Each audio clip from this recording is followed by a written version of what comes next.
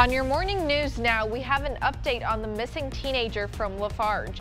Erica has been located and is safe. The Vernon County Sheriff's Office would like to thank everyone for their help in finding her. Several Coulee region counties are now eligible for federal aid because of severe drought conditions. 27 Wisconsin counties now have the disaster designation. The main counties eligible include Crawford, Juneau, Monroe, Vernon, and Richland. La Crosse and Jackson counties are also eligible as neighboring counties. They all saw eight or more consecutive weeks of severe drought conditions during growing season. People in those counties have until March 18 of next year to apply for USDA emergency loans. For more information on eligibility, we have a link on our website. People in La Crosse got a taste of the Mediterranean.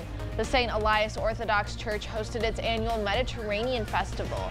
The church has hosted this festival to raise money and share the multiple cultures that the church represents with La Crosse residents since 1976. Attendees enjoyed an afternoon full of food and entertainment. Richard E. Marcos, the co-publicity chairman, has been a part of the church since he was little. He says that even after 49 years, the festival has stayed the same. It has not changed much. Uh, the basics are the same.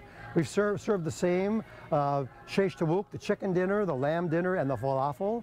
Uh, the entertainment has uh, has had a slight change to it. It was primarily uh, a Lebanese Syrian uh, uh, form of entertainment, but now it, we, we, are more Eastern European now with Bulgarians, Russians, Ukrainians, uh, and Serbians, and, and Americans for crying out loud.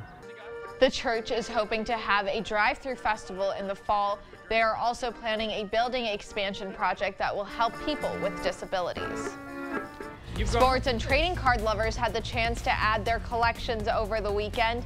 The Onalaska Omni Center hosted its second card and sports memorabilia show of the year. There were more than 50 tables of vendors selling trading cards, collectibles, and sports memorabilia. The sales and marketing coordinator for the Omni Center says that one of the best parts of the show is the opportunity for vendors and attendees to enjoy their hobby together.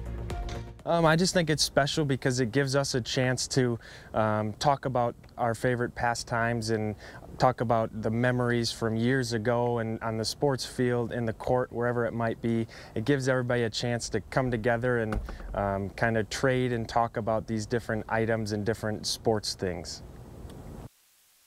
The Omni Center will have another sports card memorabilia show in February, and we're going to send it over to Derek for the weather. All right, so let's take a look here. We got uh, mostly sunny skies after that fog clears out of here this morning. We'll be looking at highs into the upper 80s to low 90s this afternoon. And overall, a pretty hot day out of that southwest wind to work with as well, around 5 miles an hour or so. Keep in mind today we have air quality alerts in effect here for much of the Coulee region starting at 7 o'clock this morning and going until noon tomorrow. A check on your 8-day forecast showing that highs are going to be very hot this week into those low to mid 90s. In fact, near the end of the work week, Thursday could be a high of 100, 95 on Friday. Those two days I'm watching closely for some record-breaking high temperatures possible.